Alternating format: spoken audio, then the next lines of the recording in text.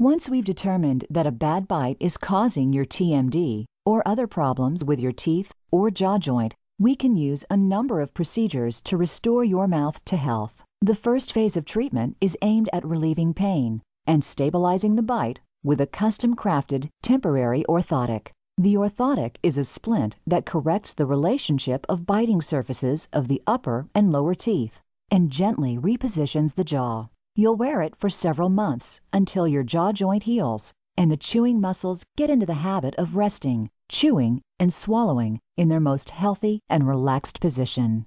During this phase, we'll check on your progress and periodically adjust the orthotic as necessary.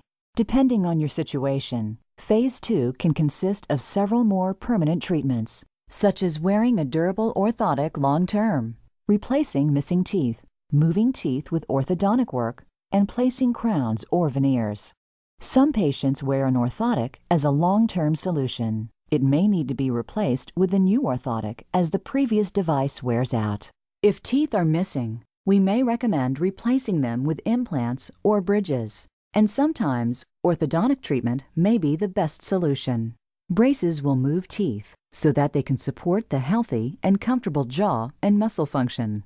In other cases, placing crowns or veneers on all or most of the teeth is the best choice.